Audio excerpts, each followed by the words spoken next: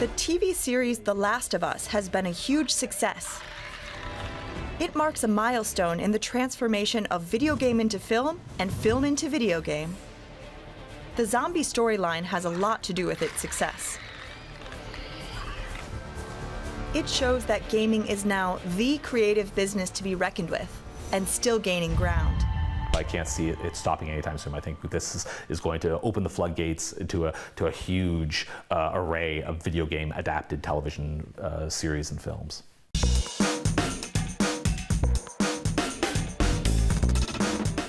HBO's 2023 TV series, The Last of Us, is the most successful game adaptation of all time. What is it? It was originally a video game from 2013 developed by US company Naughty Dog. It tells the story of a young girl called Maria Ellie. About Sarah. She seems to be the only person immune to an infectious fungus, the cordyceps, that turns people into zombies. It's set 20 years after the first outbreak in a post apocalyptic United States. Young Ellie tries to make sense of the world while traveling through this hostile environment. She learns to trust Joel, a smuggler tasked with escorting her across the country. Initially emotionally distant, he slowly warms up to Ellie. They develop a father daughter like relationship and are the main protagonists of the game and the first season. The game was hugely popular. Part 1 and 2 are said to have made close to 1 billion euros in revenue. The first part was made into a TV series. The nine episodes have become HBO's most watched series internationally. You show me where's. Stop it.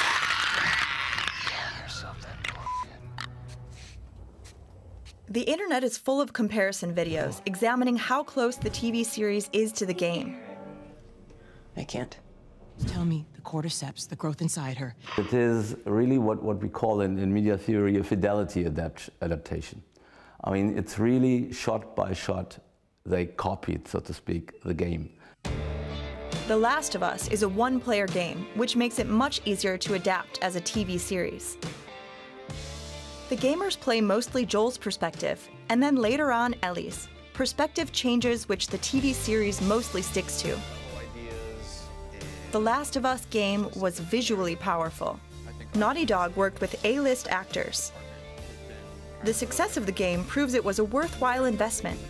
PlayStation users voted The Last of Us the game of the decade. So are video games basically becoming films now? In the last 10, 15 years, ha games have become more narrative. And the more narrative a game is, obviously, the better it can be adapted into an audiovisual narrative linear medium like TV series or the movies.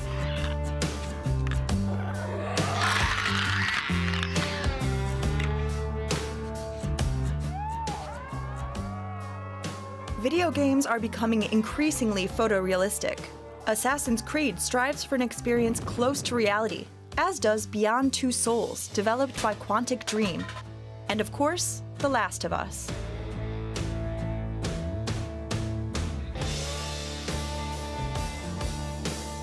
in the zeros, both media became pretty close. I mean, we have, um, I would say, for example, Crysis in 2007. That's one of the first games, at that time was a, was a CryEngine produced, one of the first games that almost looked photorealistic, almost. So games were striving for photorealism, and obviously after a quarter century, they became rather successful with that. The Unreal Engine is one of the latest developments that come from gaming. The software developed by Epic Games creates real-time 3D visualizations. It's now very popular in current Hollywood productions. Film productions also work with photorealism. Robert Zemeckis' 2007 Beowulf looks like a video game. James Cameron pushed this approach further than anyone with his two Avatar movies, with graphics and motion capture.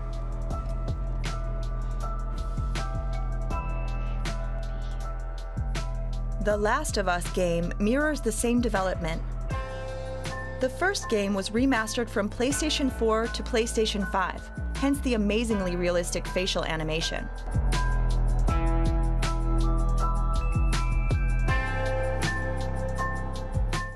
Emotions are transported now much more convincingly, making the characters much more moving.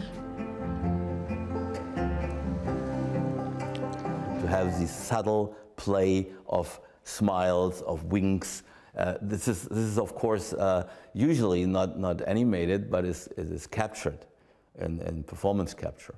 And that's amazing what has become possible.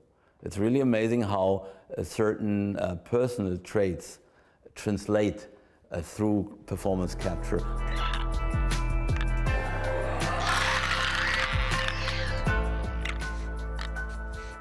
The Last of Us successfully played with the zombie trope. Zombies stem from West African myths. The undead were translated into American pop culture via Haiti. Especially in the 1960s and 70s, zombie films were often social critiques, as illustrated by the films of American director George A. Romero, who started the zombie hype in the US, and then it spread worldwide.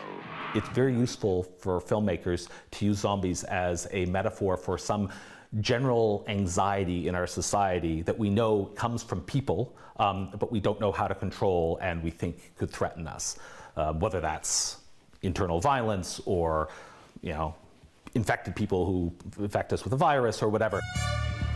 The zombie metaphor translates well into different contexts, like the South Korean zombie movie Train to Busan, that was used as a social critique. It made reference to a disastrous ferry boat accident in 2014 that claimed 300 lives. Or like in The Last of Us, where the fungus is first spread through something as harmless as flour.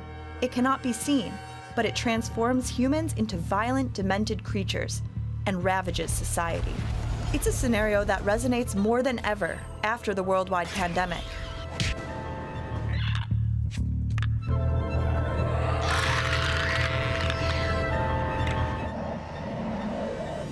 The Last of Us has pioneered a new aesthetic and found a new way to use the zombie trope. The cordyceps is a real fungi. It overtakes ants and slowly eats them up from the inside.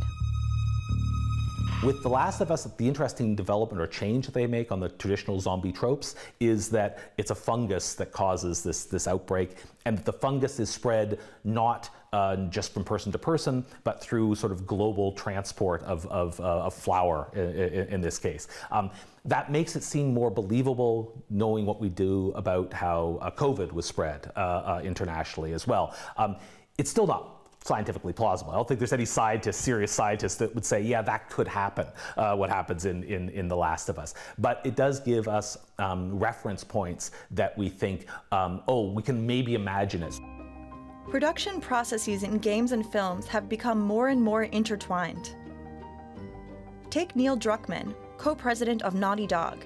After developing the game, he served as co-writer on the HBO series and even directed an episode.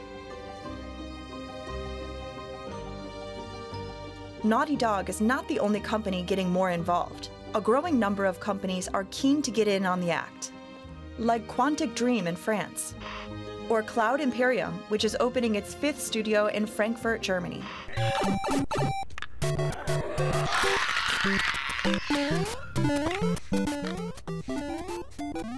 Slowly but surely, video games have become part of viewing culture. Since the 1980s, games have been made into films, and films into games. From Super Mario Bros. to Tomb Raider. That has not resulted in the best films. They're brothers. They're plumbers. Oh no. Stop! If you go from games uh, into a linear medium like movies or TV series, it's easier to translate the narr narration than to translate the mechanics. Some of the most innovative films of the last decades have used and established elements that come from gaming. Um, but that was the beginning of the uh, interrelationship between these two media. And later on, we can see the more cinematic games became, the more interested movie makers, filmmakers, people who do TV series, the more interested they became into games and started to learn from games. The hit German film Run Lola Run is like a computer game translated onto the cinema screen. The film ends three times, and the ending's always different. cult classic The Matrix by Lilly and Lana Wachowski constructs an entire reality as a programmable world, a world that can be played. To the desert. With Minority Report, even Steven Spielberg played with gaming features. So we, we can see how certain visual conventions that uh, we have established in games because it helps the players to orient themselves uh, and to navigate the game space, that they have been adopted by uh, storytellers in linear, uh, uh, linear media as well.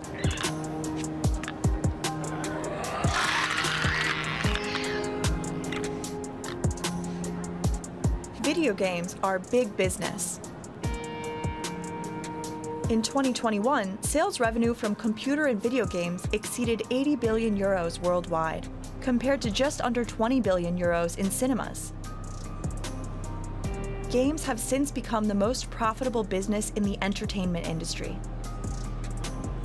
Uh, this is a way to grow audiences. Um, you see it with The Last of Us. Uh, the series came out on HBO, and then uh, the next week after the debut, you see their game sales on the remake they just released are going up. For a lot of kind of like bigger companies from this side, by taking this transmedia approach, um, they're able to grow their audiences and introduce their um, games and IP to more people out there who then become potential players. These days, film and TV no longer have the monopoly on epic storytelling, but also serve as a way of attracting more people to gaming. Fucking empty. Guys. Bill, where to? Uh, Bill, where? Anywhere but here. You better haul ass. Come on. The game industry kind of likes to think of themselves as the young kid on the block, the new kid on the block. But hey, come on, we are making games for 50 years now. We are not, not that young anymore. So we have two mature uh, industries and we have creative people in both. And uh, I think uh, uh everybody profits from each other.